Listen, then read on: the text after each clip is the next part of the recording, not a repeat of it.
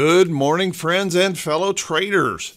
This is Doug Campbell with Right Way Options, and this is the morning market prep video for May 22nd, 2020. Well, hey everyone, we're getting ready to slide into a nice three day weekend.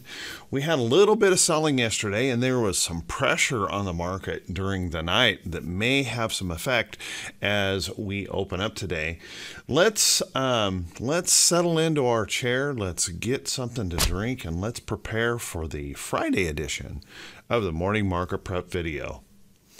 So this morning we have just a little tiny bit of pressure on the market. Um, we heard overnight that China is cracking down with a new security law in Hong Kong. Hong Kong sold off heavily last night, dropping um, over 5.5% by the close. And it's all related to um, some security issues that China uh, deems as necessary to um, stop, really, to stop the protests and things like that over in China. Folks over there, obviously, very upset, suggesting that this crackdown is removing freedoms and um, causing some um, tensions, certainly over there. Now, we also have some tensions growing between the U.S. and China. I don't know if you caught this or not, but on Wednesday, the U.S. Senate passed legislation that could restrict Chinese companies from listing in the United States unless they adhere to um, U.S. Um, regulatory rules and um, submit to audits of their company. So, kind of an interesting situation. We're seeing this little tension grow uh, between uh, U.S. and China that could create a little bit of news driven things this weekend. So I just want to caution everyone to be just a little bit careful, plan your risk carefully as we head into this nice long weekend. Now, let's take a look at the technicals of the chart and see what we have to look at here. Well, first off, doggone it. We just continue to pound against this resistance here, but the bears seem to have a pretty good line of defense here. We try and try and try and just can't quite get through there um, pushing to the upside. But one thing I gotta I gotta say is we still have to give this up to the bulls, and I'm gonna start a trend right in here and run this up. You can see we're building this uh, wedge pattern in here. We continue to uh, be stuck in this range. Um, it's honestly kind of an interesting thing because rarely do you see an index fall into such a long um, consolidation range, and it's actually a pretty wide range um, to boot. So, if we do find the bears pushing a little bit today with a little bit of worry into the weekend, remember we could drop pretty heavily um, in points if that starts to occur. There may be some reasoning for that too, just simply because of you know the the weekend risk and those tensions that appear to be growing between U.S. and China. So, just kind of keep that in mind and plan your risk carefully as you head into this long weekend.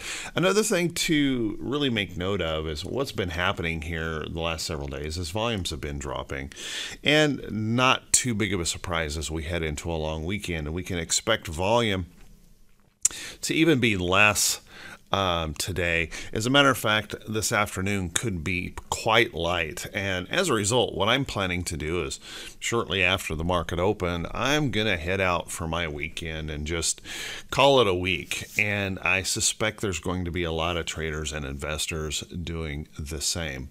So kind of keep that in mind. Now, on the technical front here, we are still in a um, bullish pattern with um, that 50 day moving average flattening out, round, rounding up.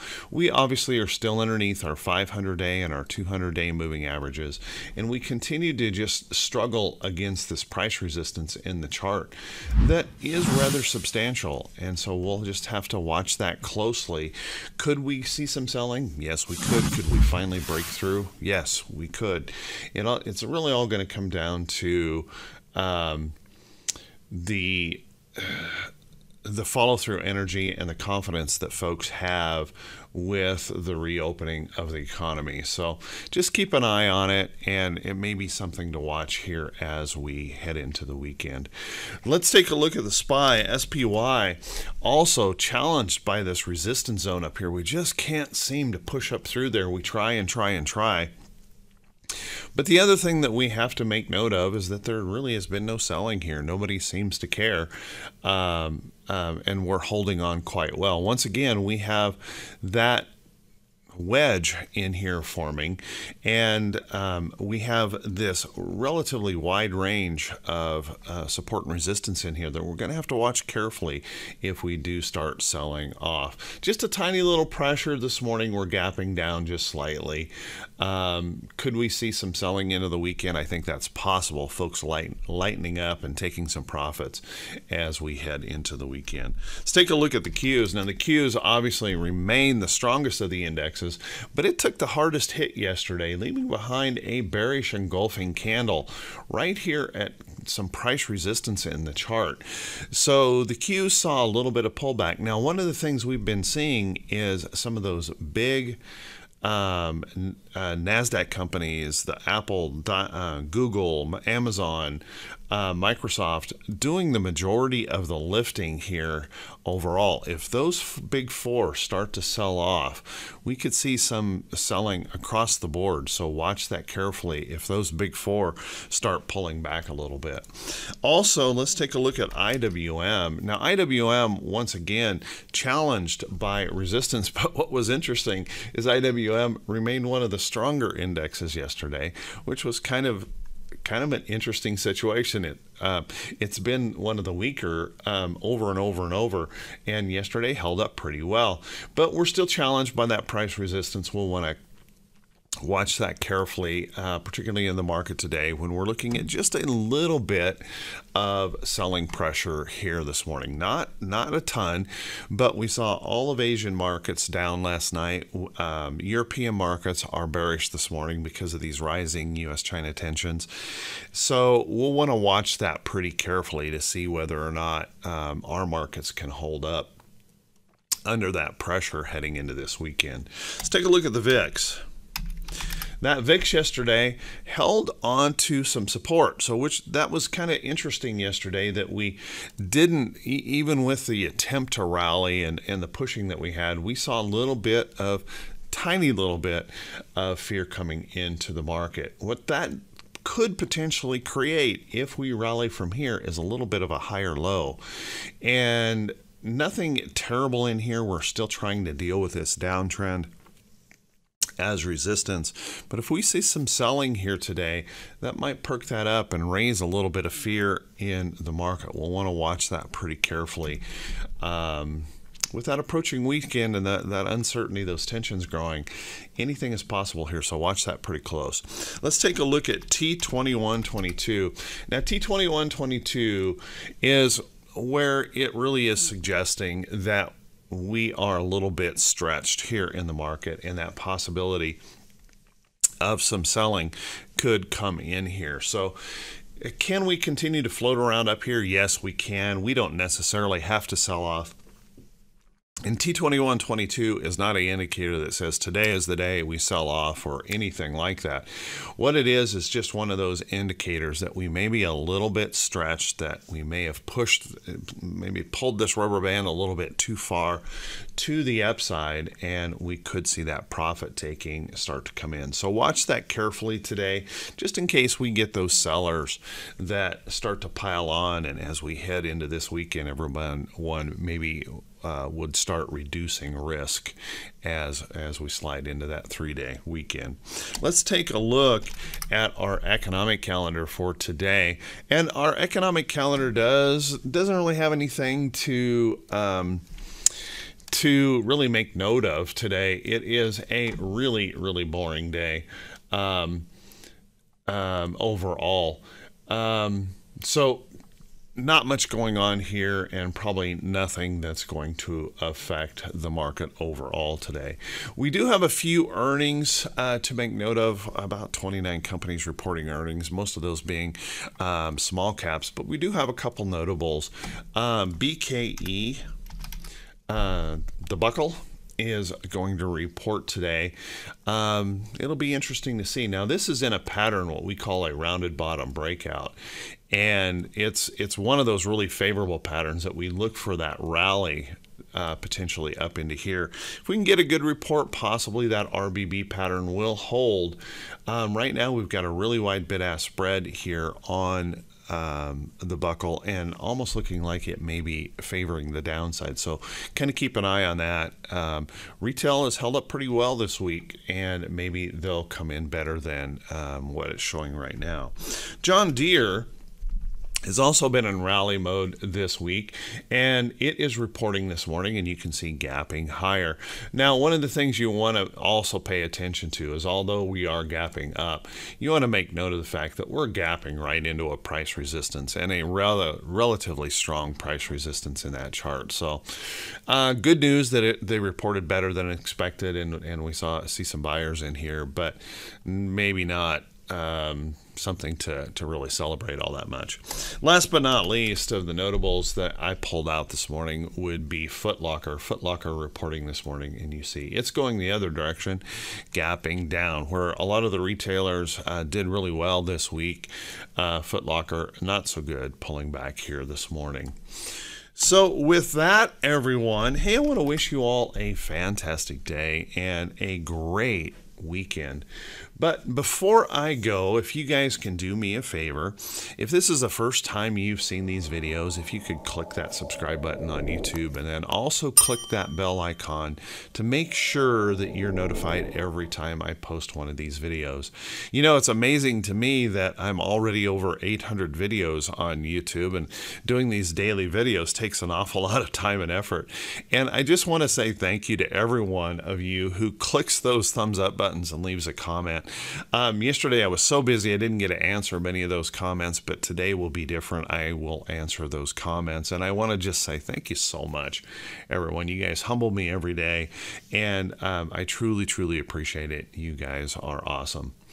So, with that, how about we take a look at some stocks that could be setting up things we might want to keep an eye on here in the market? Well, one of the things that I'm going to be uh, maybe paying attention to here this morning is if we start getting some selling places we might want to look for safety. So you might want to take a look um, over in gold. Now, gold pulled back yesterday, but you can see it's popping up a little bit this morning, um, trying to move up. By the way, if you uh, TC2000, the uh, these two little red arrows over here indicate bid-ask spread. So it is popping up a little bit this morning, and these U.S.-China tensions may actually increase that just a little bit.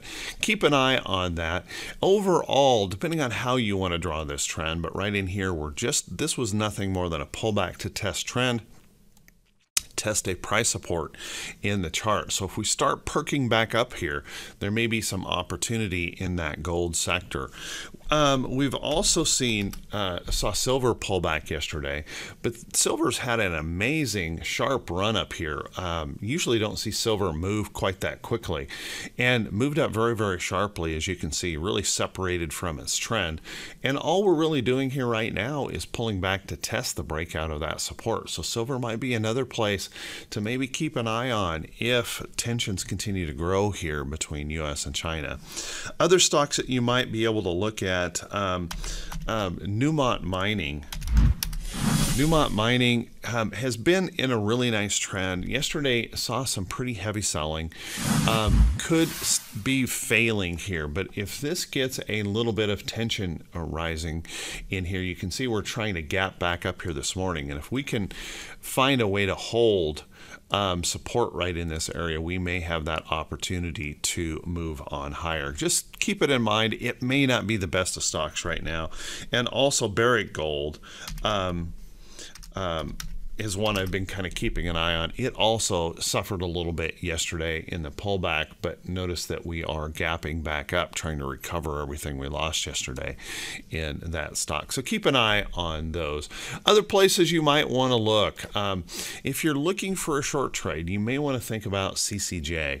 CCJ has kind of broken down here. As you can see, we've kind of slipped um, in this move. We've created those lower highs and we have a bit of a downtrend here in play. A little bit of selling came into that yesterday, and if we, I've got an alert on this chart right here, if we slip on through there, there might be a shorting opportunity setting up here in CCJ. Other places that you might want to take a look at Beyond Meat continuing to hold up here. This one has just consolidated this nice and tight move, and we keep sliding over and over toward the trend. It's one of the things I always watch for. Um, I'll tell you guys, I, I, am a very, very simple trader. Um, I do simple things. I, I, I maintain a strong win loss ratio just because I, I, all I do is follow the market. I don't try to predict anything. Um, I just try to follow the market and wait for those good potential setups. And two of those would be right in here where we move up strongly, we pull back to trend, and I see buyers step up in here.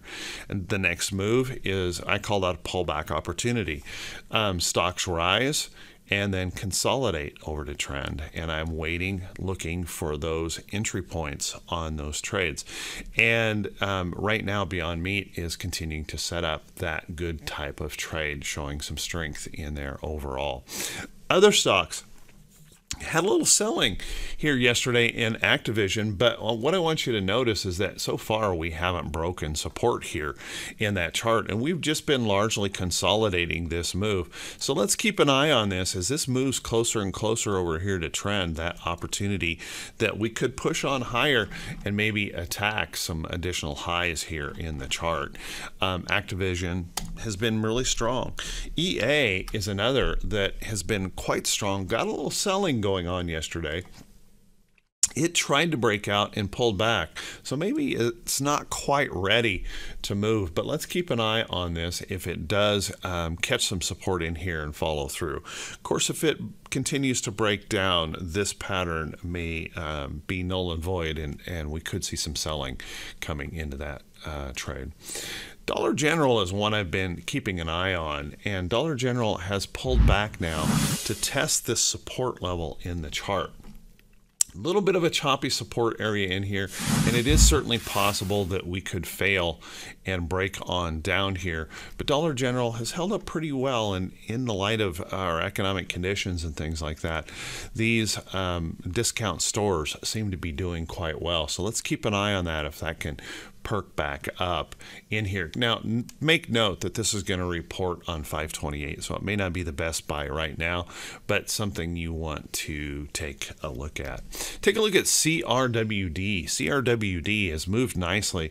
We've been looking at this. It alerted the other day here or this week and has continued to slowly kind of climb up. One of the things that we're seeing in a lot of stocks right now is that we're just not getting a lot of momentum in the moves it's really those big four that have been kind of lifting most of everything, and a lot of other things have been just kind of lingering around, not doing very well. But something to watch, uh, pay attention to. It is holding up quite well here. Um, other places um, um, that I've seen some nice movement and some good patterns starting to develop. Uh, CGC in the cannabis um, arena, cannabis moving up here, and you can see breaking this downtrend and we've tested this as support and saw bulls pushing in yesterday, moving this on up. And it's looking like this morning uh, CGC may try to open about where it closed and could even push a little bit more to the upside. Keep an eye on that. Uh, good potential trade setting up in there. If you want more of a ETF, a more of a um, um, there we go. More of a um, non-individual stock trade. Take a look at um, MJ. MJ holding up in here nicely, and we had this nice little breakout, a hold of support, nice little three-day rest in here. Buyer stepped in, pushing it on up. MJ looking pretty good, and could move on higher. So keep um, some of these cannabis stocks in mind for potential trades. So, with that, guys, hey, I want to wish you all a great day of trading. I will be taking off early today. I just don't, I think we're probably going to see light and choppy price action. And um, I just want to go enjoy myself, I guess, for a long weekend. So, um, I want to wish you guys, though, all of the best in your trading today. And um, probably more importantly, I want to wish you a very safe and happy uh, Memorial Day holiday. Everyone, take care of yourselves, and we'll see you right back here, bright and early, Tuesday morning. Tuesday morning, we have Monday off. Yippee ki yay! Everyone, take care. Have a great one. We'll talk to you soon.